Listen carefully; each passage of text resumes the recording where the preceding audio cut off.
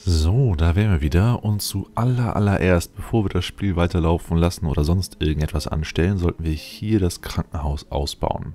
Äh, dafür bräuchten wir zuerst mal einen ordentlichen Boden, denn ich kann es mir nicht vorstellen, dass es sehr hygienisch ist, wenn zwischen den Krankenbetten Pilze und Büsche wachsen.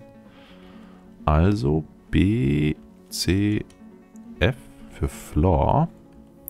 Ja, eine Straße wäre sinnvoller, weil es weniger Ressourcen verbraucht, aber ich will keine Straße in meinem Fort drinne haben. Also, außer hier auf dem Zugangsweg, das geht noch. Aber alles ab hier ist meine eigentliche Festung und da soll keine Straße rein. Also, das werden sehr, sehr viele Blöcke. Äh, wir haben nur 17 Granitblöcke. Wir haben 98 Chert-Blöcke. Sieht aber komisch aus, oder? Äh, wie groß ist der Bereich eigentlich? I, das ist der ganze Bereich hier. Aber wir könnten es dadurch farblich markieren. 1, 2, 3, 4, 5, 6, 7, 8, 9. 9 mal 9 sind 81. Da werden fast alle Chatblöcke weg. Das heißt, wir könnten draußen die Straße nicht weiterbauen. Nee, nee, wir warten einfach. Ähm, aber wir wollten ja eigentlich gerade nicht warten. Also machen wir einfach nur da, wo es am nötigsten ist. Erstmal was hin, nämlich hier am Rand, wo die Betten hinkommen. Granitblock, Granitblock. Und hier am Rand, wo die Kisten hinkommen. Granitblock, Granitblock, Granitblock, Granitblock. Und nochmal hier so. Damit dürften die Blöcke auch alle weg sein. Zwei sind noch über. Wow. Gut, also das lassen wir mal ganz schnell aufbauen. Dann kommen da die Betten hin, die wir hoffentlich noch über haben. Ich sehe hier aber keine Betten auf dem Stockpile, doch eins. Zwei. Zwei Betten. Ja, das müssen noch mehr werden. Wir hätten gerne ein Bett. Besser gesagt, zehn Betten. Weil wenn man eins produzieren kann, kann man auch zehn produzieren. Kommen die Karawane wieder raus? Ja, kommt sie. So, was macht unsere Miliz? Ist die gerade überhaupt aktiv? Grunt? Nee, ist sie anscheinend nicht, sonst wären die alle hier unten markiert. Verstaut ein sich gehörendes Item, also sich gehörender Gegenstand. Äh, okay. Er trainiert und die hier haben alle keinen Job. Aber ich finde es schön, dass manche von denen einfach so in ihrer Freizeit trainieren. Vor allem Webster, der schwer verwundet ist. Ähm, ja, also könnten wir sie theoretisch demnächst wieder einziehen und hier stationieren lassen. Obwohl momentan nicht so viele Zwerge draußen unterwegs sind. Und warum blutet der Hund da?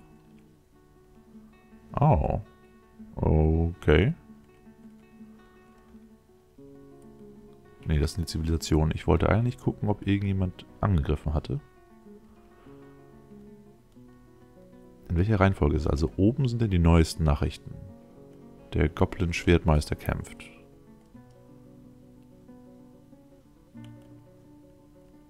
Das war schon eine ganze Weile her. Und er war derjenige, der Zücken, Zück 70 N umgebracht hat. Mit einem Kupfer-Skimitar der tief in die Wunde eingedrungen ist und sich da festgesetzt hat. Aber gut, anscheinend war der Kampf mit dem Hund hier schon länger her. Es könnte der Hund sein, der ganz am Anfang hier am Eingang des Forts angebunden war und der den einen Zwergendieb angegriffen hatte. Das ist also ein richtiger Kriegsveteran. Oh, was haben wir eigentlich mit den ganzen Sachen hier draußen? Die haben wir noch gar nicht geclaimed, ne?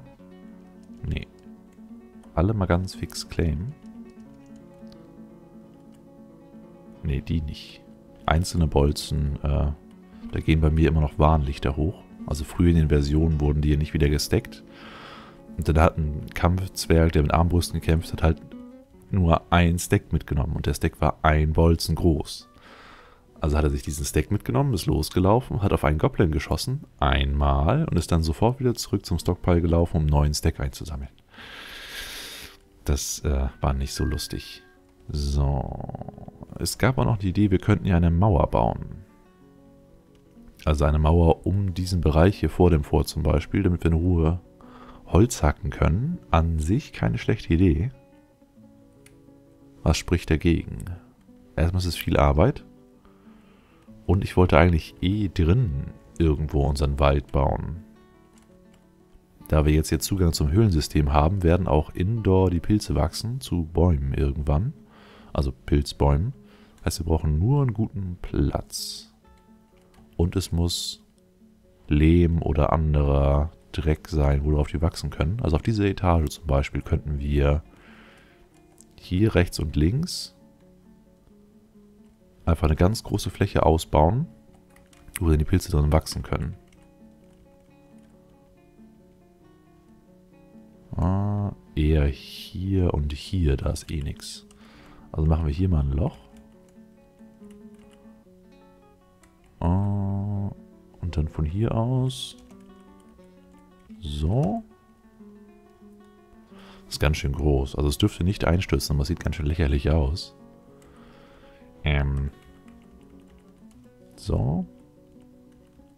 Es ist jetzt ein bisschen breiter als unser Standardturm. Und in der Mitte machen wir einfach so einen kleinen Stützpfeiler.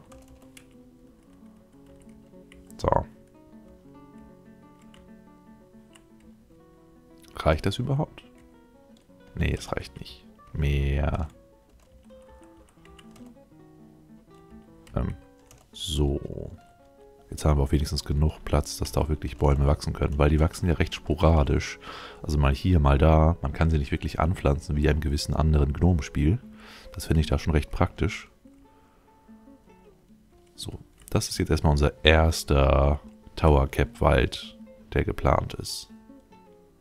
Der zweite kommt dann hier eine Etage höher hin.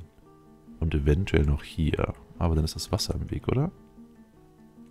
Ja, äh, ärgerlich. Nee, nee, das kann so nicht sein. Symmetrie und so weiter. Also das kommt alles weg. Dann machen wir das von hier aus einfach ein bisschen höher. So, dann sind wir jetzt schon überhalb des Wassers und von hier aus können wir dann so. Wird doch mit jedem Mal größer, oder? Nee, ist noch okay. So, da, da, da, da, da und da Stützpfeiler. So, also hier ist Tower Cap Nummer 1. Hier kommt Tower Cap Nummer 2 hin und hier Tower Cap Nummer 3. Ich hoffe einfach mal, dass da hier auch äh, die gleichen Wände und Gesteine sind wie hier. Es wäre doof, wenn wir jetzt hier auf richtigen Gestein stoßen würden und nicht auf Dreck oder Lehm oder was auch immer hier gerade so ist. Aber bisher schaut das ja ganz gut aus, wie sich das so durchfrisst. Das geht schön schnell. So, Essen und Trinken. Trinken ist langsam echt ein Problem geworden. Was machen unsere Brauleute? Kein Befehl. Was sagt unsere Küche? Caveweed kann verbraut werden, Sweetpots kann verbraut werden. Und trotzdem kommen die Brauer nicht? Doch da. Wenigstens einer von den beiden. Und ja, wir haben noch zwei Brauer. Ah, da ist der nächste. Okay, sollte ich mal ein Auge drauf behalten? Denn anscheinend brechen sie es recht häufig ab. Aber jetzt scheint es zu funktionieren. Okay, spätestens in 5 Minuten nochmal vorbeigucken. So, die Nestboxes oben sind da. Und die sind von einer Henne und von einer Gans bisher geclaimed. Das ist doch schön. Bauen wir gleich mal noch einen dahin. Und machen noch ein Loch dahin und dahin und dahin. Und haben keine Nestboxes mehr. Ah, okay. Das kann man hier ändern. Ah, wir hätten gerne eine Rock Nestbox. Besser gesagt, fünf. Denn die vermehren sich ja hoffentlich auch noch. Und was sind das eigentlich für kleine Dinger? Ein KV. Stray KV Pup. Waren das die Meerschweinchen? Ein kleines Nagetier ohne Schwanz. Es, äh, man kann es finden in den Grasländern, in Herden, die umherziehen. Es hat nur drei Zehen auf seinen hinteren Pfoten. Er ist sehr fett und sehr enorm. Er hat pumpkinfarbene Haare, also orange. Seine Haut ist äh, Cinnamon. Das ist ein Gewürz. Wie heißt das noch gleich? Crepe mit Zimt und Zucker. Zimt. seine Haut ist zimtfarben, seine Augen sind schwarz. Also ja, ich glaube, das ist irgend so ein Nagetier. Also entweder ein Hamster oder ein Meerschweinchen oder sonst was. Das heißt, die können wir alle schlachten, sonst werden das viel zu viele. So, wo ist unser KB-Pup? Stray KB-Pup, da. Die müssen alle weg.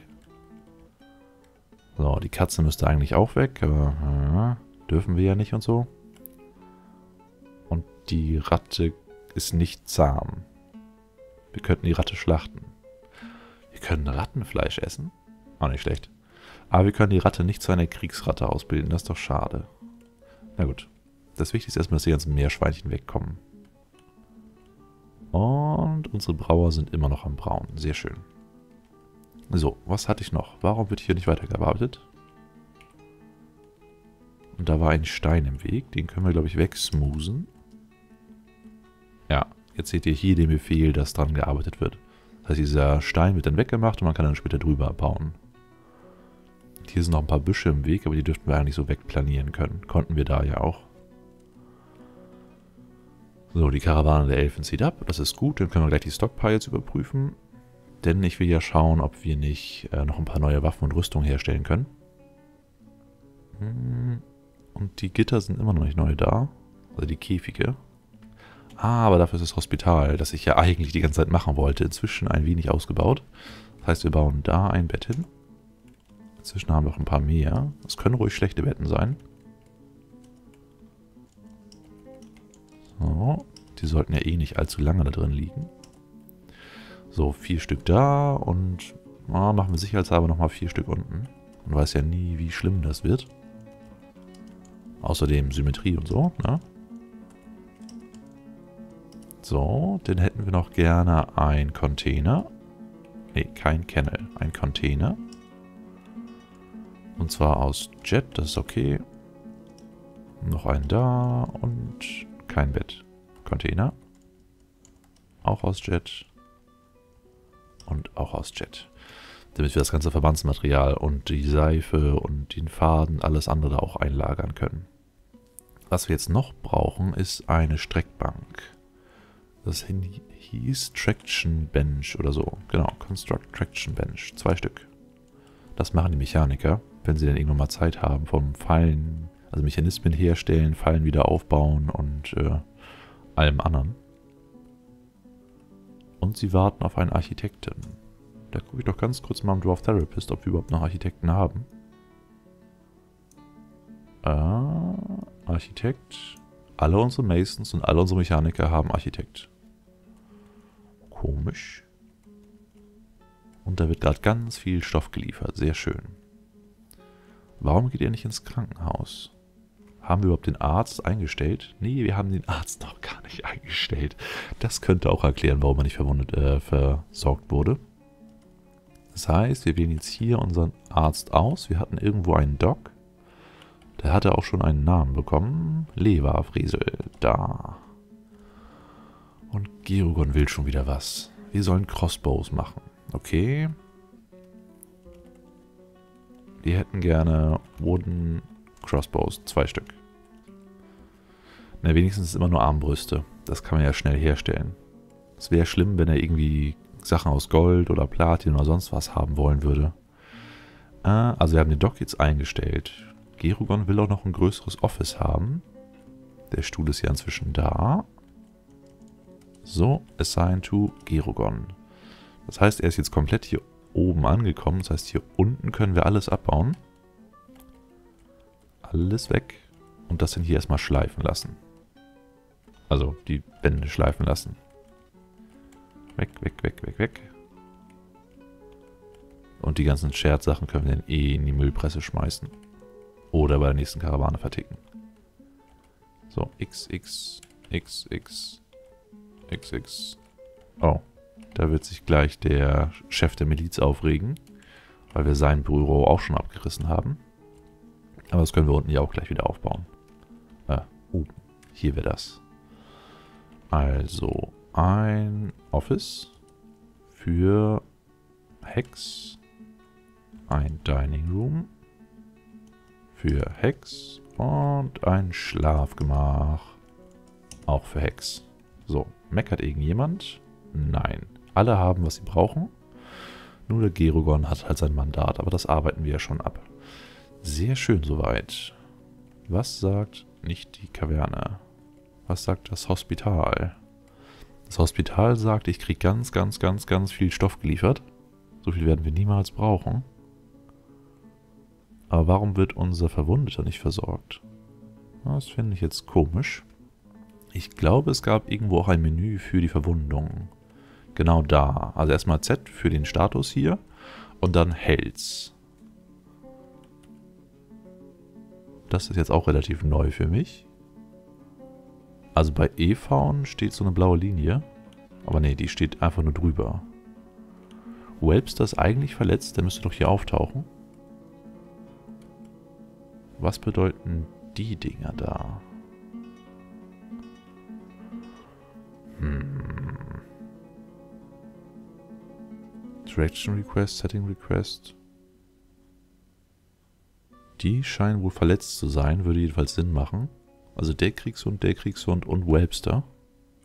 Und sonst keiner. Doch da, der Peregrin Falke hat sich verletzt. Ja, nee, ist nicht so wirklich wichtig. Aber hier, Webster. Der vierte Finger seiner linken Hand ist total zerquetscht. Und dafür ist keine Pflege vorgesehen. Also er soll nicht verarztet werden. Okay.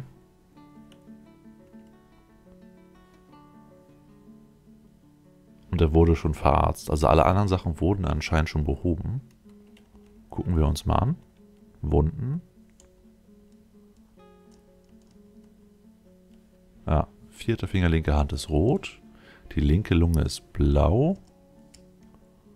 Und der Upper Body, den kann ich mir nicht genau angucken. Denn sobald ich runter scroll, sehe ich ihn nicht mehr. Und sobald ich hoch scroll, ist er gelb, weil er markiert ist. Ah. Na gut, aber anscheinend wurde er schon verarztet und das ist das Wichtigste. So, und wie jede Folge hier unten schön den Weg weiterbauen. Hoffentlich haben wir inzwischen genug Granitblöcke. Ne, ne, ne, ne, zwei. Das reicht nicht. Ja, die Mason haben zu viel zu tun. Aber wenigstens die Straße draußen geht voran. Und die Wildschweine werden fleißig geschlachtet. Oder die Meerschweine oder die Schweinschweine. Ihr wisst schon, was ich meine. So. Und das sieht immer noch cool aus mit den ganzen Wohnungen hier. Aber gut, speichern wir erstmal ab und in der nächsten Folge gucken wir dann weiter. Also bis gleich.